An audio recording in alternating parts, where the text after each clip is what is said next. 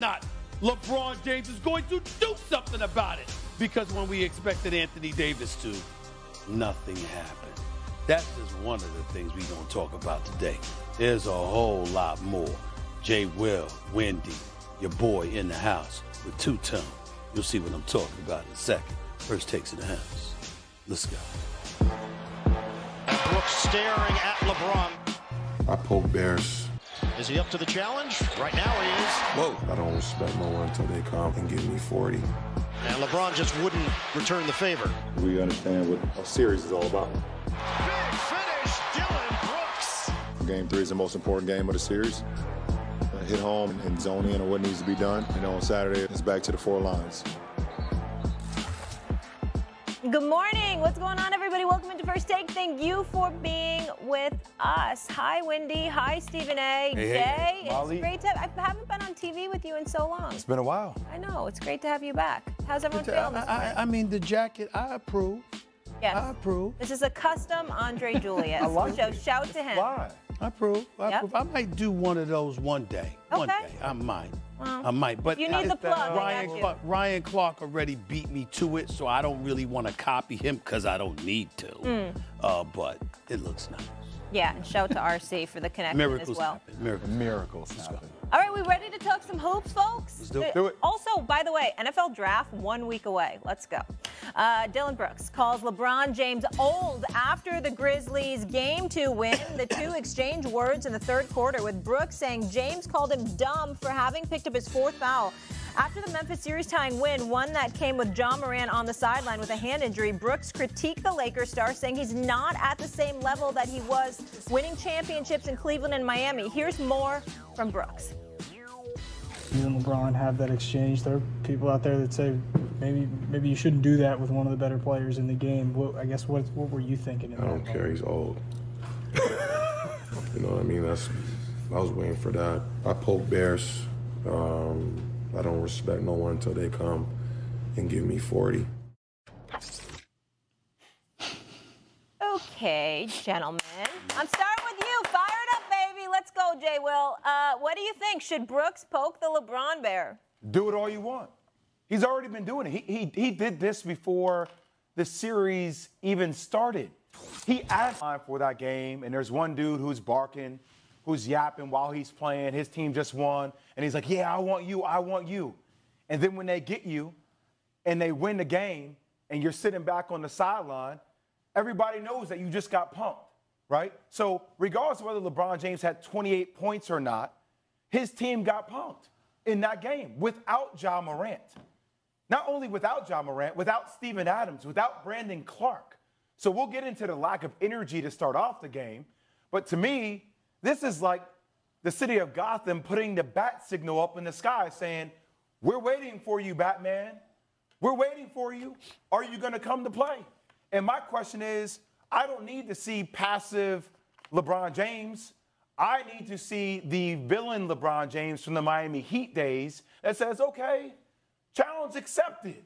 I am going to bring it. I am going to bark back. Please, thank you for bringing the best version of me out of me on the stage that it matters the most. Now we're going back home, and now I want to see it. AD, D'Lo, we can talk about what the rest of the team needs to do, but I don't want to see LeBron James ease himself into games anymore. That's all we talk about. Like, well, you know, LeBron lets the game come to him. I need to see LeBron James take it to the game and be aggressive right from the beginning because basketball players, that's what we do when somebody calls you out and calls you old to the public when we've seen LeBron James be the player we know he always is because he's been that way this year. Go ahead, Wendy. This is a trap. Uh, it's a trap to try to fo- get LeBron to try to want to score because that's what the Grizzlies need to happen. Uh, Say whatever you want about Dillon Brooks. He's savvy. He's made himself a big name for a guy who's a role player, going to be a free agent. He is leading this show because of what he said. We've seen this before. I've seen this since LeBron was in his early 20s when this was DeShawn Stevenson with the Wizards 15, 18 years ago.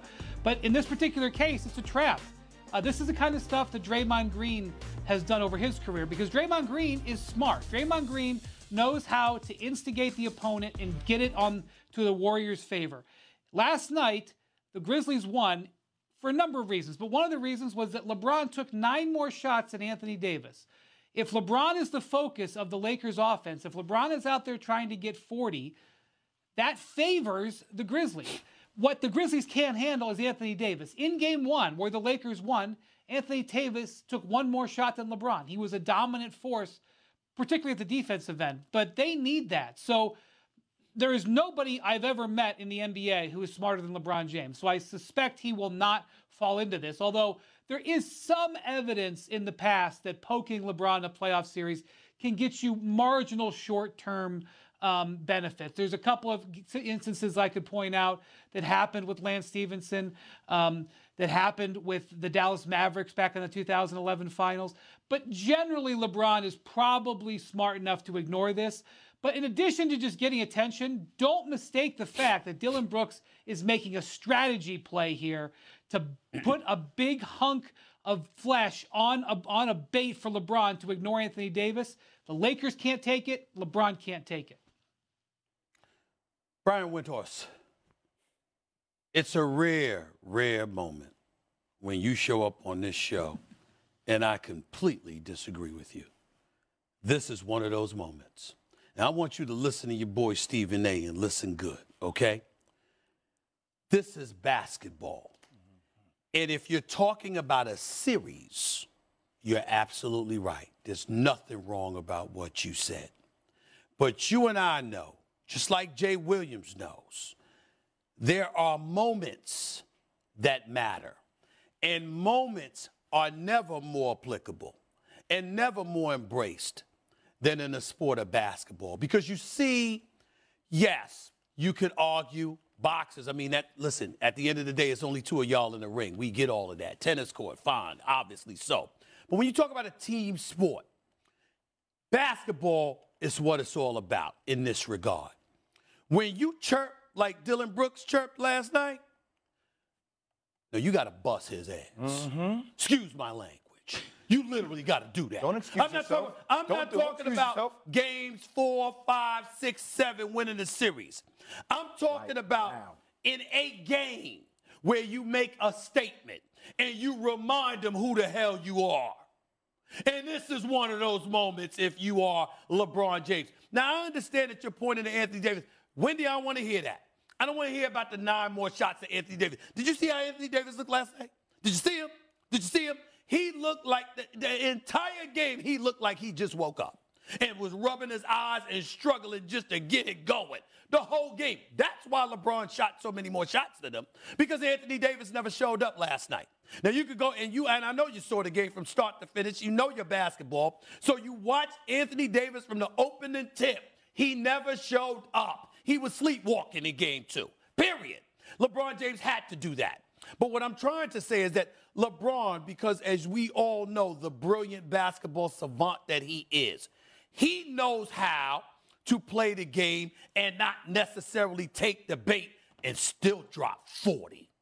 That's what I'm saying. I'm not telling them to ignore the team. I'm not telling them to ignore strategy. I'm not telling them to just go out there and jack up shots. I'm saying you could be LeBron doing what you normally do to win while busting his you know what in the process. Because he ain't on LeBron's level.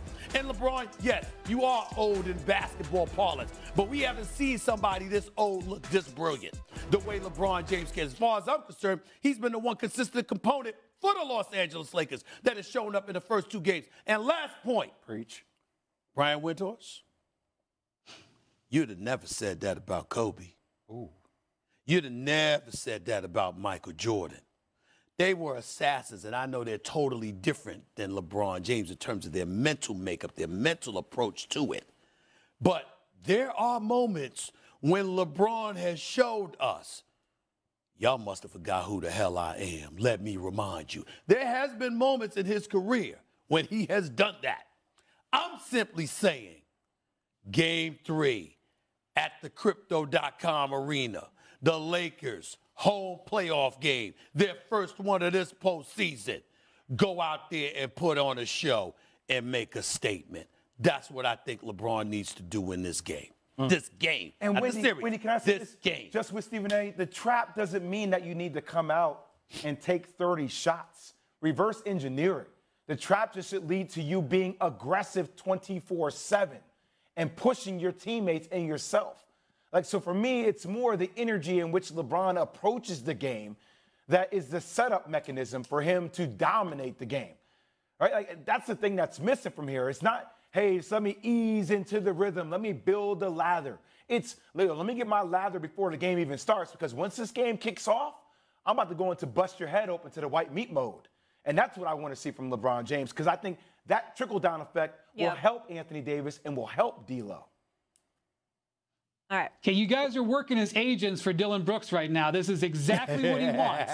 He wants you to put pressure on LeBron. Mm-hmm. He wants you to, to, to call LeBron to go shoot those shots and forget about Anthony Davis, just so you know.